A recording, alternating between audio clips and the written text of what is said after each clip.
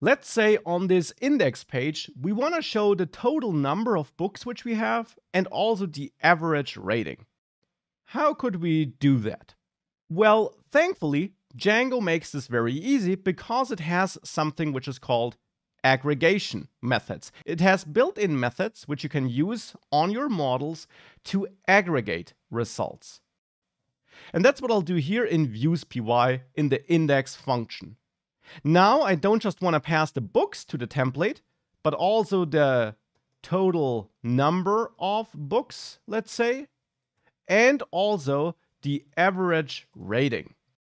These two fields should be added here. And to get them, we can again use queries and special methods offered by Django. We already query for all the books here, and therefore I now can use my books query set you learned earlier that you don't want to repeat queries unnecessarily for performance. So we don't want to run book objects all again. That would be bad because that would create two query sets and potentially hit the database twice.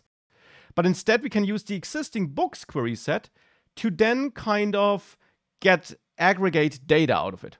If we want to get the number of books, for example, there is a count method which we can simply call. And then we have the number of books, which we can store in a separate variable and then assign as a value to this context key here. And there also is an aggregation method for the average.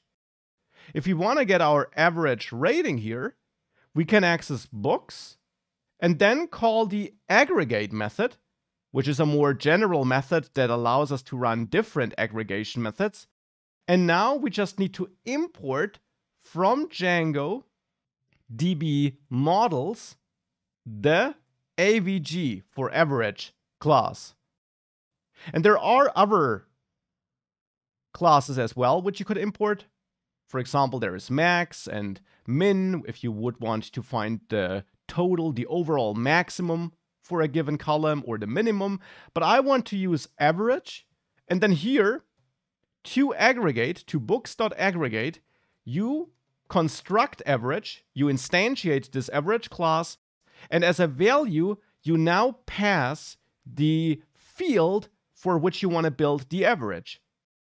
So in my case, I want to build the average on the rating field, so you simply pass rating to average. And this instructs Django to go ahead, have a look at all the books in that query set, and build the average for the rating field and then return that average here and in this case store it in the average rating variable.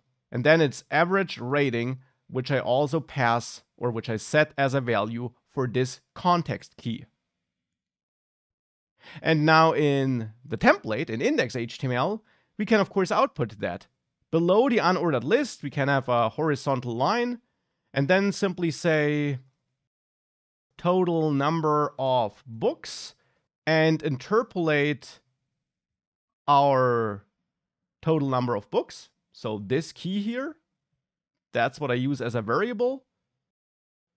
And then we can also add another paragraph where we say average rating and interpolate average rating. So that other context key which we set.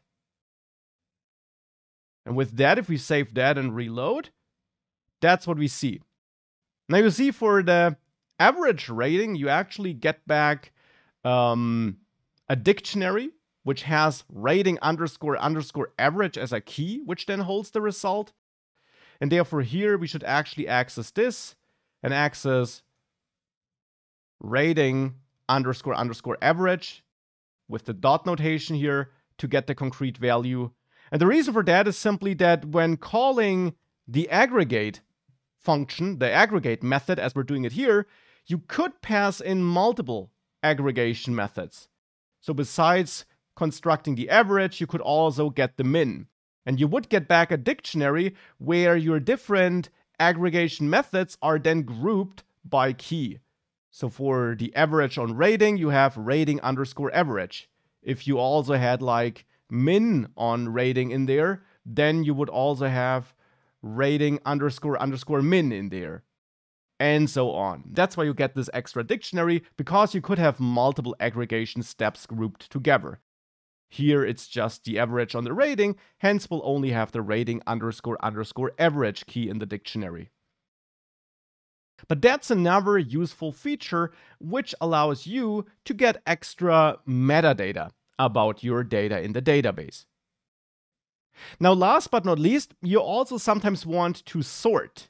And sorting is also very simple with Django. Whenever you build a query set, like here with all, but the same would be true if you used filter, you can also call order by on the query set. And that does what the name implies. It allows you to order the results in the query set. And it will do the ordering on the database level. So it will query for the ordered data and not get the unordered data and then order in Python, but instead it queries for the ordered data so that Python doesn't need to do the ordering at all. But everything is done behind the scenes. You just need to specify by which column, by which field you want to order. And you can also order by multiple fields if you want to. But here we could say that we want to order by title, by specifying title here, like this. And if we now reload, you see Harry Potter is first. By default, it orders in an ascending order. You could also order in a descending order simply by adding a minus in front of the field name. So minus title orders by title in a descending order. So if we save that and reload, now it's ordered like this. And of course, we can also order by rating in a descending order. So with minus rating, we make sure that the highest rating is on top and the lowest rating is at the bottom. And these are various nice functionalities which you can easily add, as you can tell, with help of Django and its models.